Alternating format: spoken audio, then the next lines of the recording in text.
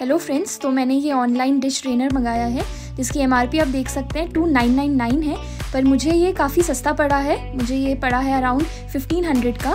तो अब देखते हैं कि ये कैसा आया है। स्टेनलेस स्टील का है ये ट्रेनर और दिखने में तो काफ़ी अच्छा लग रहा है। आप देख सकते हैं, इसमें ये बॉक्सेस भी हैं, जिसमें हम अपनी स्पून्स को रख सकते हैं, और ये इस तरीके से यहाँ पर फिट हो जाएगा, और दोनों तरफ़ से इस तरीके से फिट हम कर सकते हैं। इसके नीचे ये ट्रे है, जो कि प्लास्टिक की बनी है, और काफ़ी अच्छा मटेरियल मुझे ये दिख रहा है इसका प्लास्टिक और देखिए, इसमें मेड इन इंडिया लिखा हुआ है। मतलब ये इंडिया में बना प्रोडक्ट है, जो कि काफ़ी अच्छी बात है और इस तरीके से यहाँ पर फिट हो जाएगा। तो जितना भी हमारा पानी है, वो इसमें कलेक्ट हो जाता है।